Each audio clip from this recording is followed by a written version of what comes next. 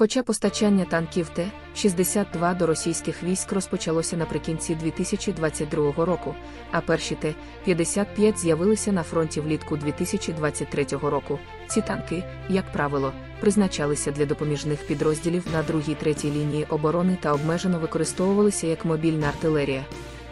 Проте, під кінець битви за Авдіївку, за повідомленнями військових, противник почав використовувати Т-62 у боях нерідко на немодернізованих, а голих танках без решіток та динамічного захисту. Після Авдіївки російські війська активізували спроби наступу на Роботине, де активно використовували застарілі Т-55 та Т-54 без ознак модернізації, окрім антидронового мангалу, який не допоміг врятуватись від українських дронів.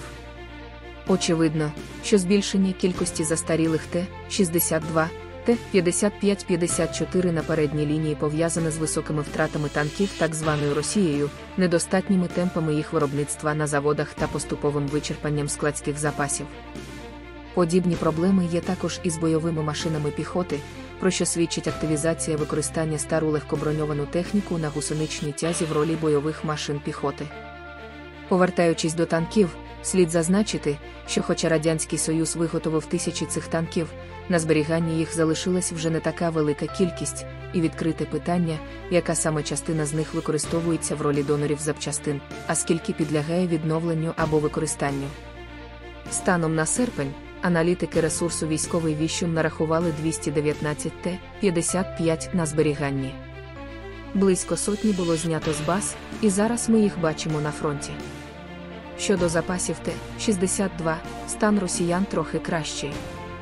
Їх станом на серпень було знято зі зберігання близько 600 одиниць, і близько 800 ще залишається на зберіганні. Вони проходять модернізацію, де на них встановлюють додатковий захист та нові прибори. Однак, виробнича здатність обмежена приблизно 20 на місяць. Імовірно, саме через це на фронті з'явилися немодернізовані, а відновлені на швидкоруч базах Т-62, які відправили в бій, де були знищені. На середину лютого, за даними Орекс, підтверджено знищення більше сотні одиниць Т-62 різних модифікацій.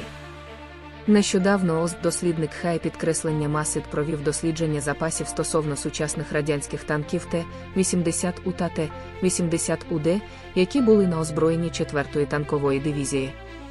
Виявлено, що можливості відновлення Т-80У вичерпались, на складах залишилося кілька десятків цих танків, які, ймовірно, непридатні до відновлення.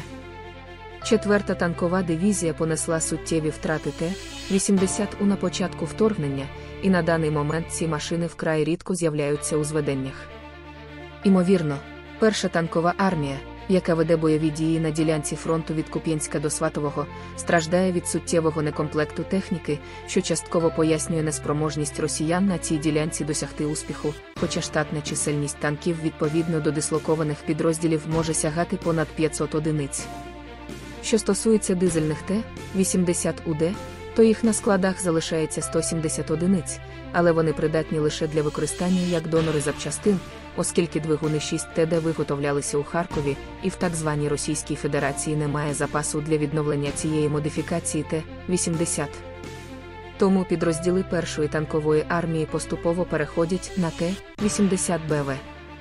Але із ними у росіян проблеми, оскільки підрозділи морської піхоти, що традиційно оснащувалися Т-80БВ та Т-80БВМ, з початку 2024 року отримують вищезгадані Т-55. Танкові запаси Т-80БВ та різних версій Т-72 вимірюються сотнями, проте масштаб і темпи втрат вже вказують на те, що в нескінченних танкових запасах Росії можна побачити дно. Ставте лайк, коментар, підтримайте канал гривнею, деталі в описі до відео. Слава Україні!